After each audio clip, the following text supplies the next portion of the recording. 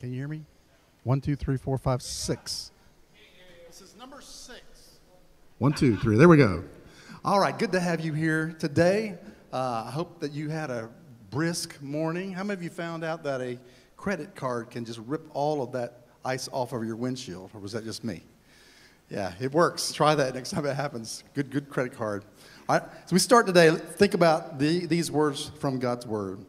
But because of His great love for us, God, who is rich in mercy, made us alive with Christ, even when we were dead in transgressions. And it's by grace you have been saved.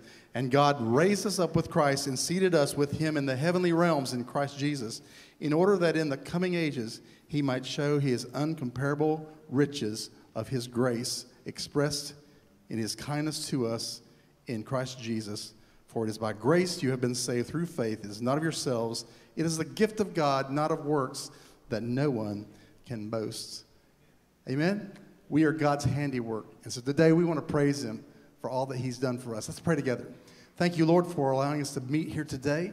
And I pray that these words that we've read from your holy word, I pray, Lord, that, that those would just spur us on to praise you with all of our heart today for making us alive in you because of your great grace. We ask that you would accept our worship today. We pray in your name. Amen. Amen. Please stand and sing with us.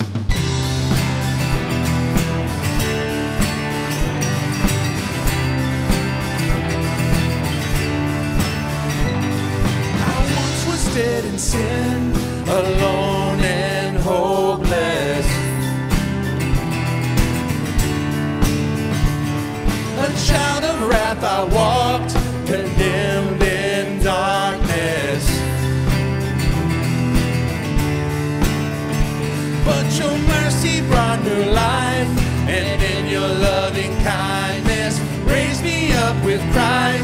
and made me righteous. That's exciting, ain't it? You have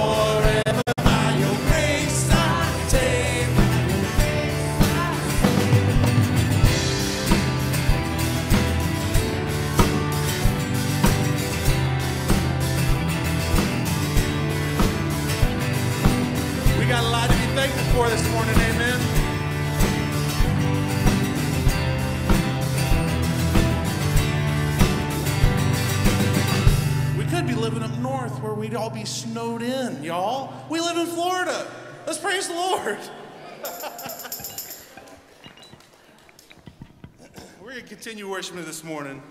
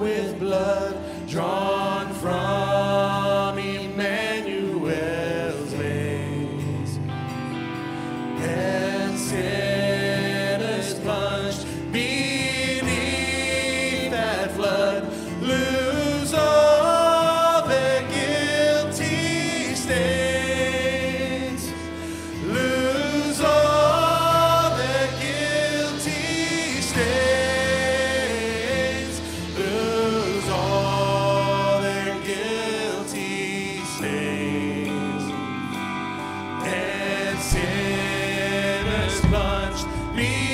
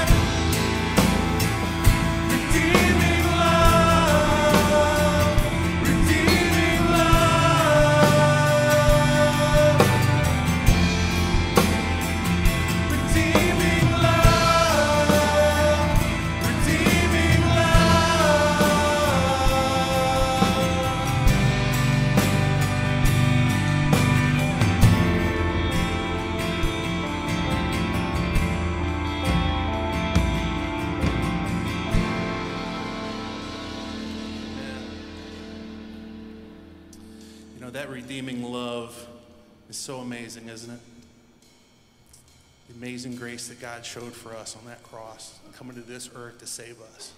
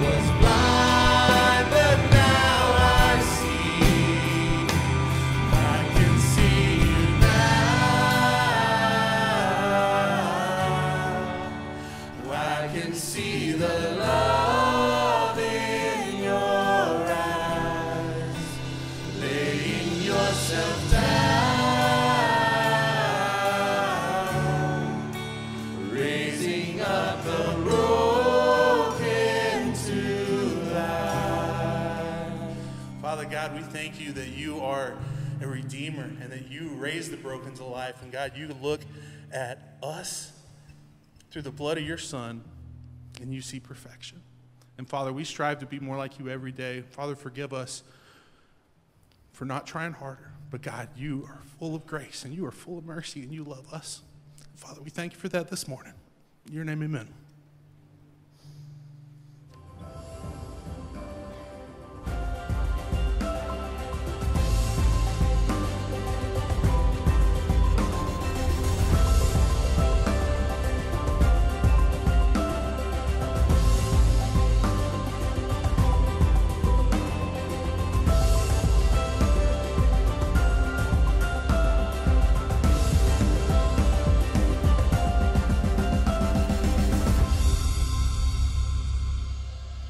Amen. So good to see you this morning. Always good to be able just to come together and worship.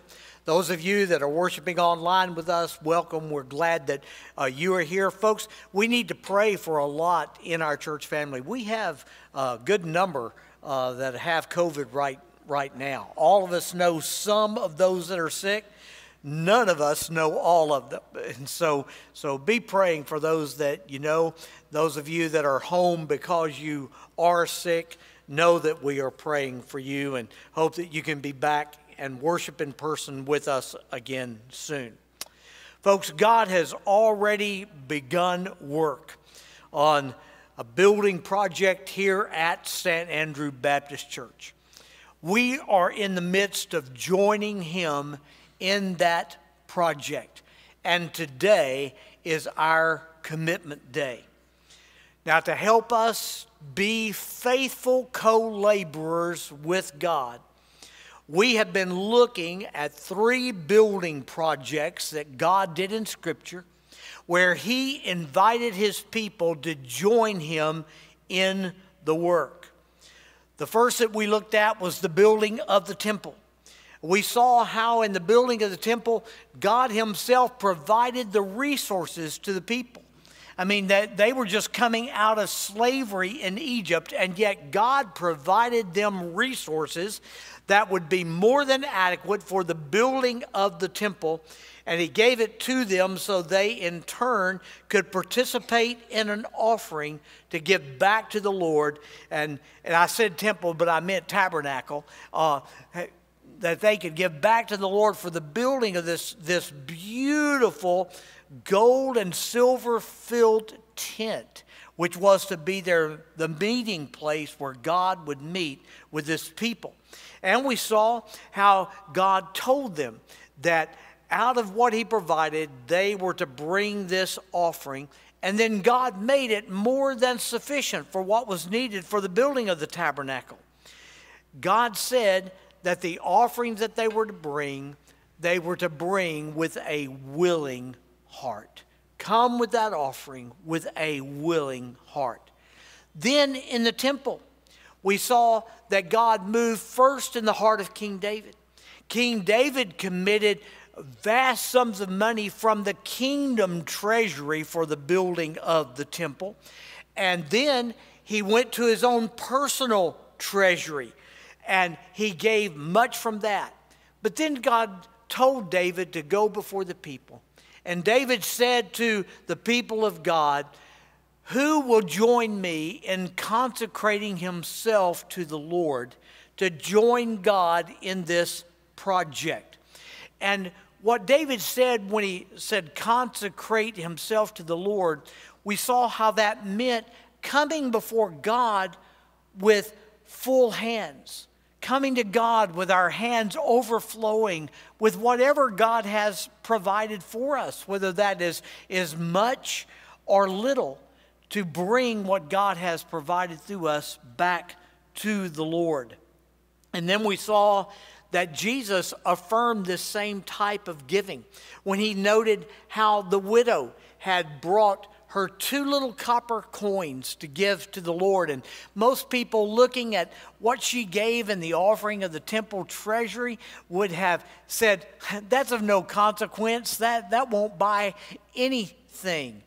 And Jesus said, But I want you to know that she gave the most because she gave all that she had, all that God had provided to her, she gave as a part of her offering to the Lord. Then we looked at the rebuilding of the temple, how God once again called upon his people to take the resources that God had provided to them already and to give them back as an offering to the Lord for the rebuilding of the, the temple.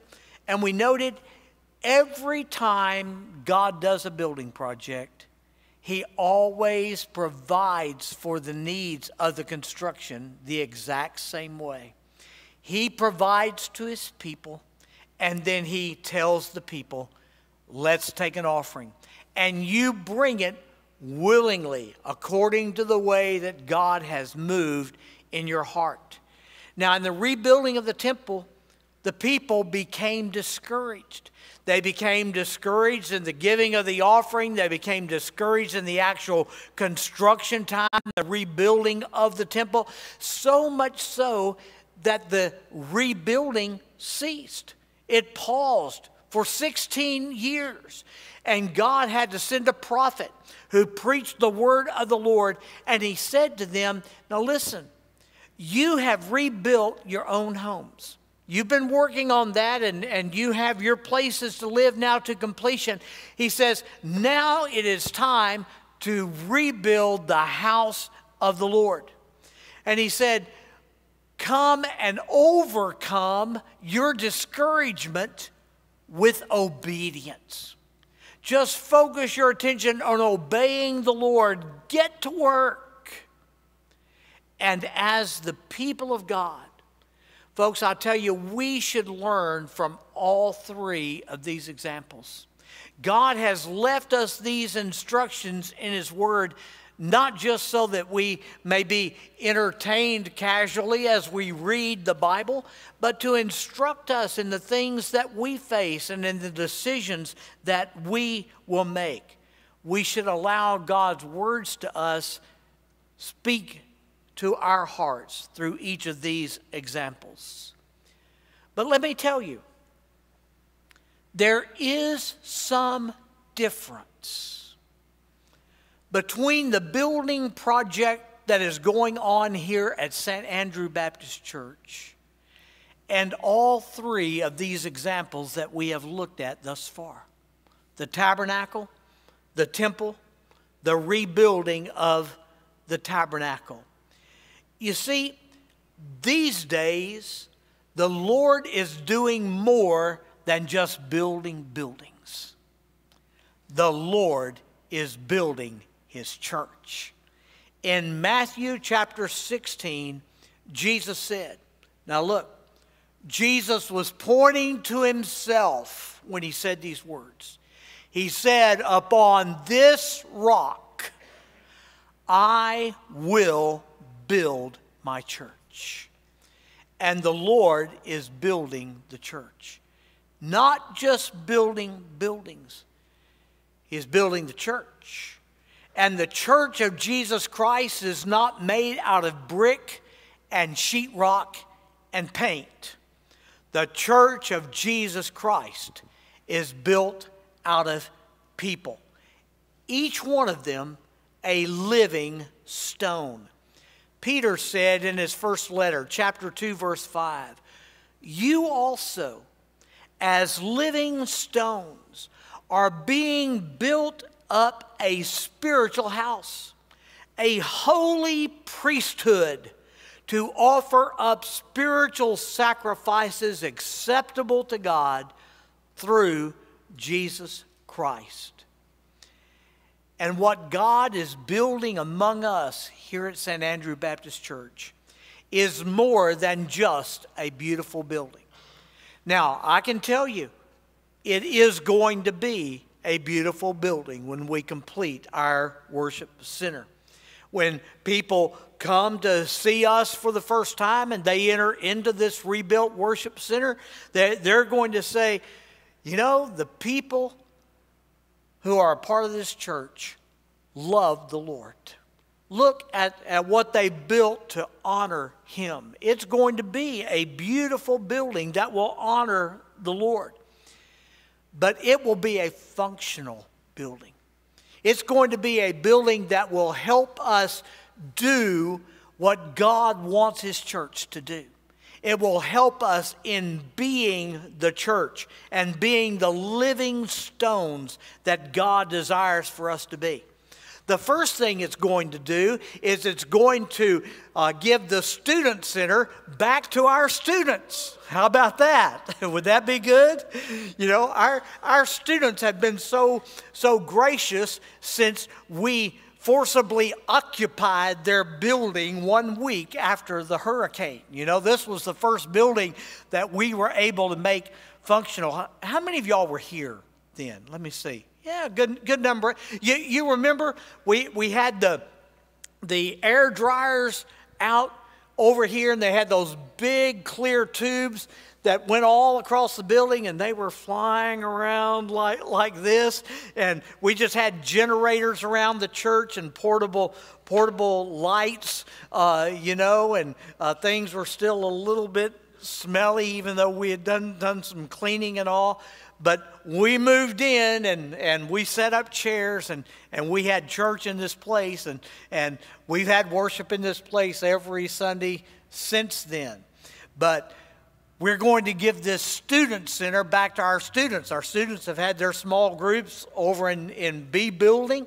And so, except for Wednesday nights and during the week, uh, we, we made them exit. But y'all are going to get it back. But not only will they get the student center back, but all of us, students and adults alike, we're all going to get a better place to worship. Now, I can tell you it's going to be better for our choir led led worship. They're especially glad there's not going to be any more wires taped down to the, the floor to, to trip on. The choir's going to have room to get on the platform again instead of having to set up uh, uh, the risers up in, in front of the uh, stage uh, like they do right, right now. Going to be a place for the orchestra, so they'll be glad. But it's going to be much better for our band led worship, too not going to be nearly as crowded as it is uh, up up here, and uh, going to have new lighting, new sound. All the, the lighting and everything will be programmable, which will be be helpful to to them. Going to be much better for streaming our services. You know, we we not only uh, have people that are watching us locally, uh, watching our stream, but almost every week I will have guests that have come down just for a few weeks, and, and as they come in and I get to talk with them or on the way out, they'll, they'll say, You know, we keep up with y'all when we're back home. We watch your streaming services every week. It's a, a, part of our worship on Sunday. We go to our church and then we tune in to, to y'all streaming with us. And so that will be able to be better in our new worship center as well. But not only for worship, we're going to have new space for life change groups, for our small groups. Now, thank the Lord for the space we've had. I mean, we have been, we just need to say thank you, God, because building by building, we've been able to refurbish and build so that we could start our small groups back. And, and we have been, been crowded in our small group, but we, we have been able to have our small groups. But once we build our get our worship center back our students will be back in here freeing up space in b building. Our senior adults are going to have their own space in the worship center and there will not be a single stair there will not be a single ramp. They'll be able to be in their space go to worship go to small group park their cars without going up or down any steps which will be a, ba- a vast improvement from what they have, have ever had.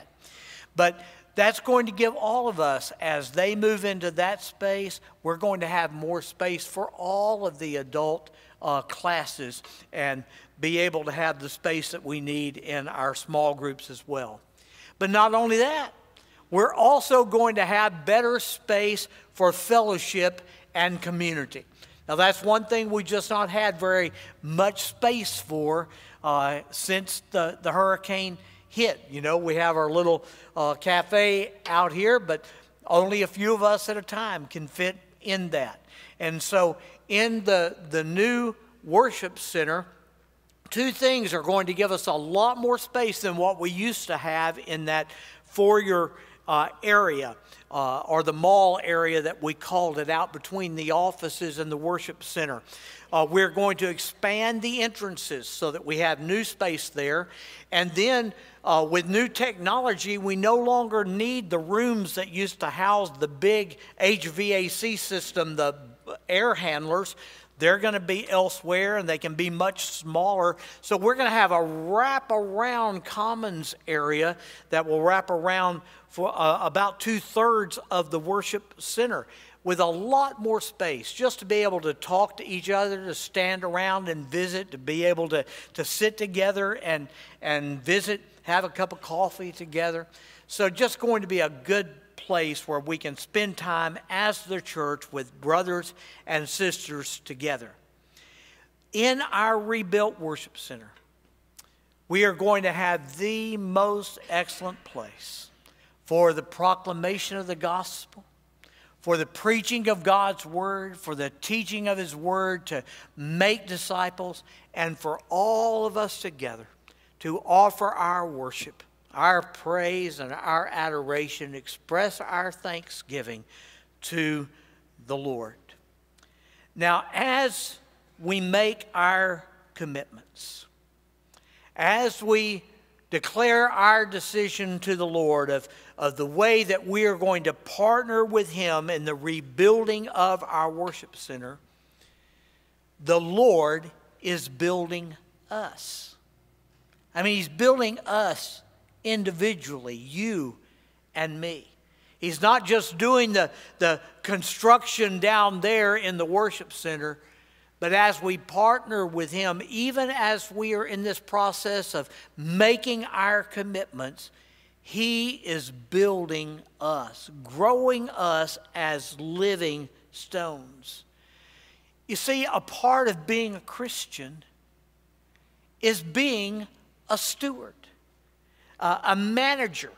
A steward is a manager and we are to manage, we're to take care of everything that God entrusts to us. So every one of us are stewards. And Paul writes to the Corinthians, and in 1 Corinthians chapter 4, he says, Let a man so consider us as servants of Christ and stewards of the mysteries of God. And so, one of the ways that God grows us as his people.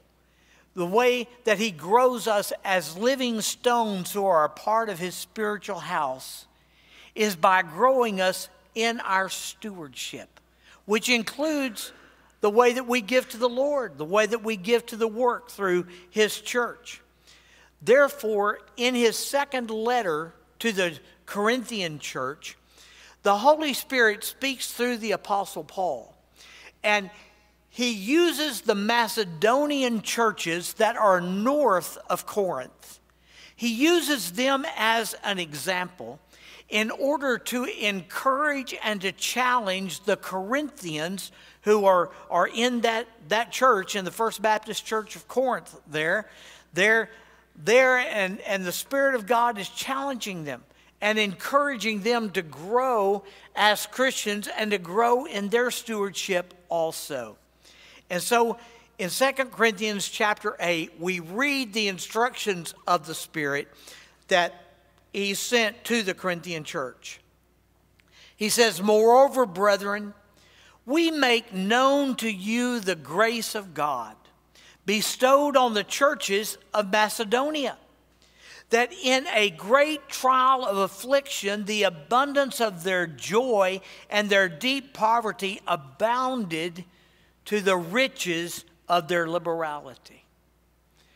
Folks, let me tell you, when we give to the Lord, any time that we give, no matter what the object of, of our giving, when we give to the Lord, it is a testimony of the grace of God that is working in our lives. One evidence of a growing Christian is that he or she is growing in their stewardship and growing in their giving. You know, Jesus said so many things that are, are penetrating to the heart. I mean, you, you hear him speak and you just, but one of the things that he says that always gets me is he said, Where your treasures are reveals where your heart is. You know, we can say, oh, well, this is really important to me. Oh, well, that's really important to me. Oh, I really care about this. Jesus says, what you really care about, where your heart really is, is where you've invested your treasures. And so we can each do a self examination to see how much we really care about the things of the Lord how much we really care about the, the Lord Himself by where our treasures are invested. A person whose heart is truly growing in the Lord, closer and closer to Christ, demonstrates that by giving back more and more. And I don't necessarily mean more and more in value because you may not be at a place in life where, where greater value is entrusted to you, but I mean more and more uh, proportionately. Like the, like the widow. She was at a place in her life where, where she didn't have much in the way of provision, but she gave more than she's ever given before. She gave all. And what I'm saying is that as we grow in the Lord, we give back more and more proportionately of what God has entrusted to us to the Lord because where our heart is, our treasure goes. Now, the Macedonian church that the Holy Spirit now is using as an example to the Corinthian church the Macedonian church was in a time of tremendous persecution, a time that Paul calls great affliction, at the very time that Paul is taking up this offering from them. And in fact, we're going to see in, a minute, it looks like Paul considered not even asking them to be part of the offering because their affliction and their trouble was, was so great. He says, in a great trial of affliction, the abundance of their joy and their deep poverty abounded in the riches of their liberality. But in this time of great trial, resulting in poverty for many of them that were a part of those churches, their growth in Christ caused them to give generously. So Paul writes, For I bear witness that according to their ability, yes, and beyond their ability, they were freely willing. And we, we saw last week how the, the Spirit through, through Haggai said, each one give according to his ability. Now, Paul's saying, let me tell you, these Macedonian believers gave according to their ability because they were in a time of great, great affliction. But they went beyond their ability and gave more than they were able. How do you do that? I mean, how, I mean, how financially, how is that possible? Physically, how is that possible that you, you give more than you're, than you're able? Because they were not just giving out of their present resources, they were giving out of resources they were trusting God to provide. They weren't holding back resources they had already been given and saying, Well, I've got to, got to save this in case things get even worse. No, they said, I'm going to trust the Lord for taking care of us tomorrow and next week and next month and next year. And they, they gave beyond their present ability, even digging into their future ability. They gave generously in tough times, and listen, they did so willingly. Have you noticed? Now, in all four of the examples that we've looked at in Scripture, and there's only four. There's only four times where, where God had a, a major building project where He was building and He invited His people to join Him. Only four examples in church, uh, in, the, in the Scripture. Every single one of those, the emphasis is that they gave willingly as God spoke to their hearts. Folks, I'll tell you, that's why we have done our Sundays leading up to this commitment Sunday as we have. The only thing I've done is to share with you what the scripture says in each of these four examples. We have not been, done a big campaign. We haven't been involved in a big enterprise. We haven't formed a, a lot of lot of committees. You've not had a lot of mail outs. I've sent you one letter. I hope you got it yesterday. My, the, the letter came to my house. I read my own letter yesterday. Uh, so, you know, we sent one letter to give you the information and include a commitment card. But we've done that because we desire for this to be exactly like each of the four examples in Scripture. And that is that it's God that speaks to your heart. And that when you give, that you give willingly. That's the way the Macedonians gave. That's the way that God calls upon the Corinthians to give. Then he says, imploring us with much urgency that we would receive the gift and the fellowship of the ministering of the saints.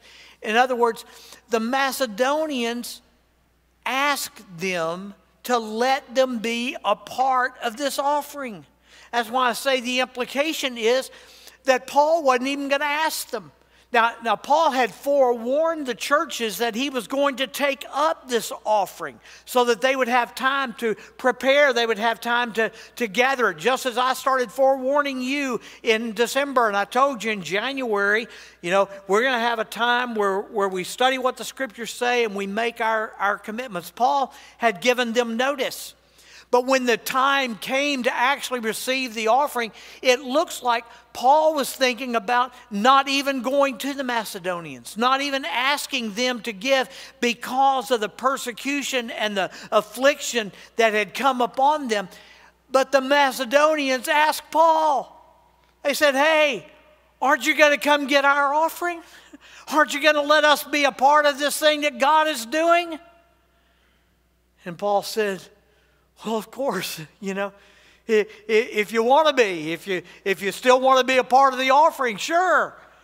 And it turned out that they were the primary example of generosity and of, of willing hearts bringing what God had provided to them in miraculous circumstances, what God had provided for them to give. The Macedonians considered giving to the Lord and giving to his work to be a privilege, not an obligation, not something that was pressed upon them, a privilege. And so Paul wrote, and not only as we had hoped, but they first gave themselves to the Lord and then to us by the will of God. And here the Holy Spirit identifies the secret for the growing stewardship among these growing Christians in Macedonia. The whole reason they responded as they did is because the first thing they did is they gave themselves to the Lord. They said, Lord, I am I'm yours. I belong to you. I'll do what you want me to do. So they gave themselves, committed themselves to the Lord first. Then they followed through in obedience to do what God wanted them to do. Now, the Spirit continues to write to the apostle in the next chapter of 2 Corinthians. And in 2 Corinthians 9, he gives kind of a summary statement of the principle about giving, of New Testament giving. He says, But this I say He who sows sparingly will also reap sparingly, and he who sows bountifully will also reap bountifully. So let each person give as he purposes in his heart, not grudgingly or of necessity, for God loves a cheerful giver. That word cheerful literally means hilarious. it means somebody who is laughing out loud, laughing wildly. Folks, let me tell you, what God wants as we make our commitments to Him and, and then as we give to Him, what He wants as we give to Him week by week out of our, give our tithes and our offerings to Him.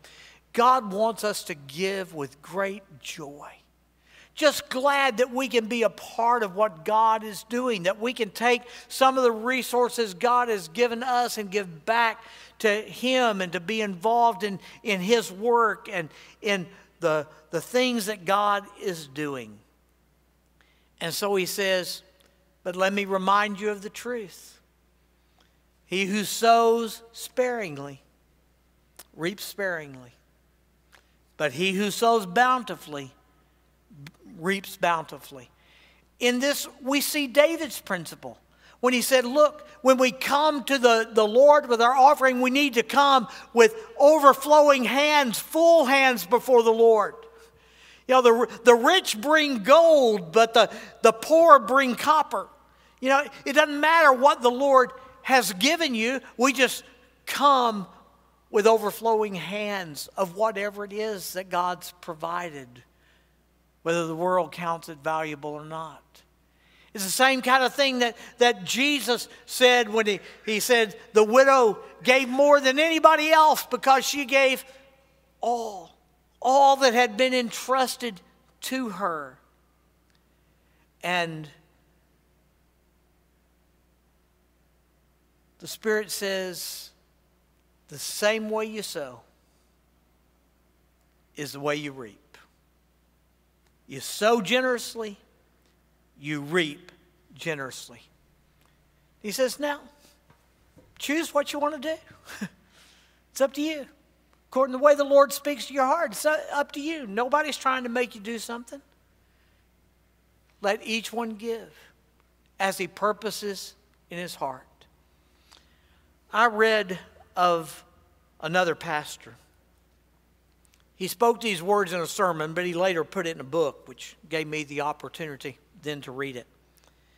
But he said this to the congregation, trying to explain the same principle, I think, about, about being cheerful givers, happy, hilarious givers like the Macedonians. He said, Suppose someone, someone completely infallible and utterly trustworthy, came to you and said, I have a surefire offer I want to make to you. We're starting a, a new business, a new company. We've already got the contract signed. We, we have uh, all the, the contacts we need for the company to be successful. Customers are actually in place. We need investors. And, and we need investors who will give $100 each to fund this company. But we guarantee you that if you will just invest uh, $100, given a little bit of time, you'll become more than a millionaire. And suppose you really trusted this person and so you, you believed this was absolutely fail safe. Well, given that opportunity, would you hesitate? Would you, Brother Rick? I, I wouldn't. I wouldn't. I put $100 in an investment that wasn't nearly surefire as that. Well, of course we wouldn't. In fact, we would probably respond, uh, could I invest 200 or 300? Uh, how much would you let me invest? If I could scrape up $1,000, would you, would you let me put would you let me put that in? How much would you let me invest? You would be a cheerful investor. That's the kind of giver the Lord wants. He, he wants us to see giving to Him, committing to be a part of what, what He's doing as a privilege, as, a, as an opportunity that, that He is opening the door to let us share in work that He is doing. Listen, do you think God has to have us to accomplish what He wants to do? That God's going to shut down business if we don't come through? Listen, God can do His work, but God wants us to have the benefit, the privilege, the blessing, and the growth that comes by joining Him in His work. And that's why He says, and as you do it, I want you to do it with a willing heart. I want you to do it as the Spirit moves you because God loves a cheerful, a hilarious giver. I hope today, if you take your, your commitment card and you take it back to put in the, the offering uh, box as I did before our worship services started. I was afraid if I didn't go in and take it, I'd forget. And then at lunch, I'd say, "Oh no, I forgot to turn in my own card." So I did it before church even even started. But He wants us to come glad, with a big smile, even a, a grin on our face, and say, "I am so glad to get to do that." God loves a cheerful giver. And then he says this 2 Corinthians 9 8. And God is able to make all grace abound toward you, that you, always having all sufficiency in all things, may have an abundance for every good work. Here, the Spirit of God says, Let me tell you the final result of becoming a faithful steward of the Most High God. He says, by His grace, and remember, His grace is unmerited favor. By His grace, God makes His favor abound toward you so that you have enough of everything. You have everything you need, and you have something to share, something to give to everything that God wants you to support. So you have plenty to be able to share for every good work. Let me tell you something. God will do this for any believer. For any believer who chooses to become a faithful steward. What is a faithful steward? A faithful steward is a person who knows that when they give to the Lord, they are just taking out of the basket that the Lord gave to them. They're taking things out of the basket the Lord gave to them and putting in the basket of what they give to the Lord. And they don't do a lot to lose the exchange. They take from what God has provided and give to the Lord with the same measure as they give to the Lord, God gives back to them so that they end up in a cycle. They recognize as God gives back to them, He does so so that they may be able to give again. A faithful steward is one who gets in that cycle and enjoys giving to the Lord, and they just give willingly. They give as the, as the Spirit moves with full hands and with a big basket, like Jesus said. And they do this over and over again. And they do it because they know. They know that when they sow generously, God will cause them to reap generously. And they are so convinced that is true that they just laugh all the way through the process. They just rejoice in the way God's cycle of giving and receiving from the Lord works. They love being a part of God's work. So, as the Holy Spirit says to the Corinthians, so let each one give as he purposes in his heart, not grudgingly or of necessity. For God loves a cheerful giver. So each of us get to decide for ourselves. Nobody tells you, nobody's going to tell you what you ought to give or what you ought to do except for God speaking to your heart. You listen to Him and then decide. Just remember God's word is true.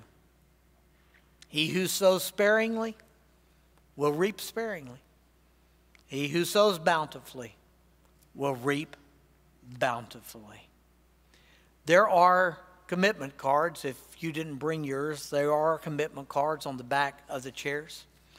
You can fill them out when you go out after worship. Go to one of the offering boxes. There's one out in the cafe. There's one out, uh, I think, in each of the, the four your areas. You can just fold your card and, and put it in the box. If you prefer to make your commitment online, just go to our website, sabc.org. You'll find on the, on the welcome page, on the very first page you come to, there's some buttons at the bottom. One of the big buttons says Building God's Way.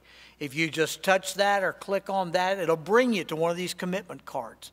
And you can fill it out online. You can, you can do it there. But you let the Lord speak to your heart and then give willingly, willingly to the Lord. And we make our commitments today to Him. Stand with me. Let's pray. Lord, as we stand before you as a church, we tell you we trust you. Lord, we trust you individually to speak to our hearts, to each of us who are a part of the people of God here at St. Andrew Baptist Church. We trust you to speak to us, to tell us, Lord, what you want us to give out of what you have and will provide to us. And Lord, we trust you that what you speak to us and what you speak to our brothers and sisters in Christ. And so we commit to give.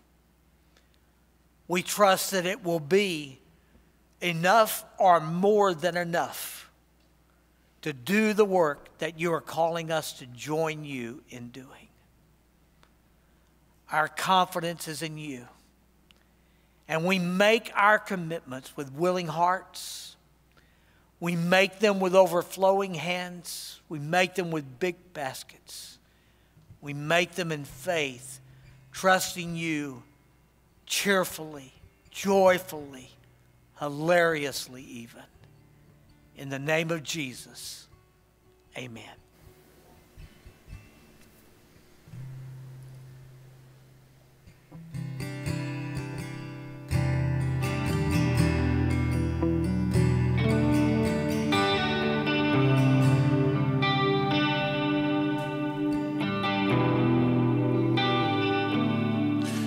Give life. You are love.